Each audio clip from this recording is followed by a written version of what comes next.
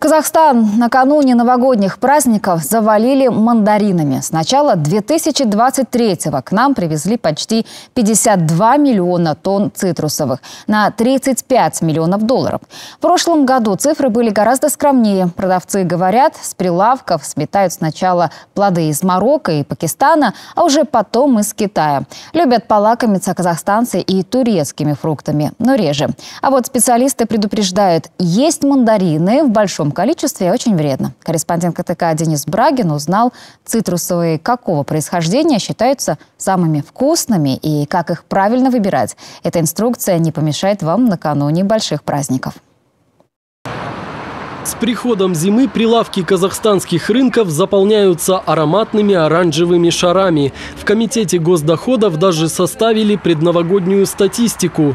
Оказывается, больше всего мандаринов в Казахстан привозят из Китая, Пакистана и Турции. За 10 месяцев в страну импортировали почти 52 миллиона тонн плодов на 35 миллионов долларов. Это на треть больше, чем в прошлом году.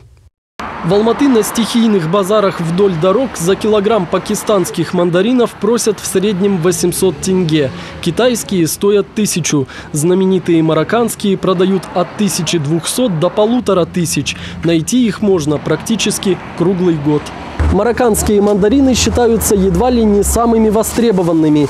В них нет косточек и мало калорий. Зато этот вид содержит эфирные масла, улучшающие настроение и повышающие работоспособность. Сочный, яркий и душистый фрукт является хорошим антидепрессантом, особенно зимой. Но переедание может вызвать гипервитаминоз и повысить уровень сахара в крови, говорят специалисты. На фермерском рынке, куда товар поступает якобы от производителя без посредников, цены действительно ниже. Здесь мандарины из Пакистана можно купить по 680 тенге, китайскую медовку по 880. Ценники на марокканских и турецких от 1000 до 1200.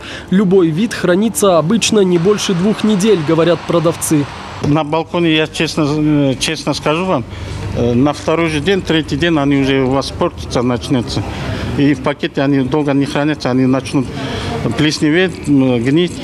Они в холодильнике, вот кто может закупить на неделю вперед, две недели, они от силы могут держаться. Вот эти без листочков. Мукадим Исмаилов торгует фруктами больше 10 лет. Некоторые плоды выращивает сам. О мандаринах знает, кажется, все и даже больше. Мужчина заметил, чаще других покупают марокканские, хоть они и самые дорогие. Менее ходовые – пакистанские. Возможно, потому что они с косточками и немного кислят. После Пакистана идет э, вот эти э, китайские листовые. Но они честно говоря, такие сладкие танкокоры снимаются прям легко и этот э, можете попробовать, если не брезгуете. Не брезгуете да, пожалуйста, можете вот э, э, это угостить своим этим сотрудникам, пусть покушают вот. Могу. Нет, ничего, пусть дайте вот. Действительно, Действительно вот девушка, попробуйте, пожалуйста.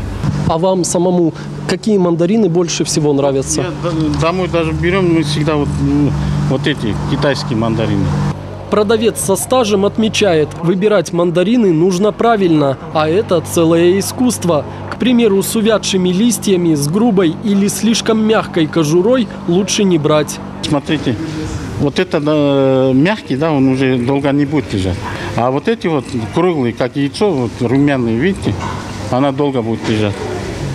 А вот которые расстроенные, чуть-чуть помятые, они не, не будут так хорошо храниться. А, Еще как увидеть свежие мандарины? Свежие мандарины, я вам скажу, допустим, э, возьмем из листовых, да, я вам сейчас покажу вот листовые, Вот листочки потрогайте, у них листочки, видите, еще зеленые и не растрепанные. А, а когда, э, когда листочки чуть-чуть обветрятся, сухие, они уже давно шли. Медики призывают быть с цитрусом осторожнее. Есть натощак категорически запрещено, а чрезмерное потребление может привести к лишнему весу и серьезным проблемам с желудком. Новый год у нас как бы ассоциируется с мандаринами, да? Поэтому его начинают прям ящиками покупать и употреблять очень много.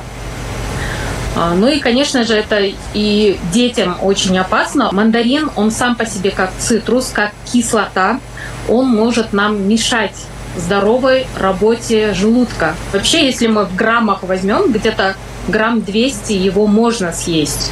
То есть здоровому человеку в день рекомендуется съедать не больше трех больших мандаринов или шести маленьких. Превышение нормы может спровоцировать аллергию. Сок свой, а, который действительно поднимает и настроение, и а, гормоны счастья, можно сказать, с проблемами ЖКТ. И, конечно же, аллергикам очень вредно.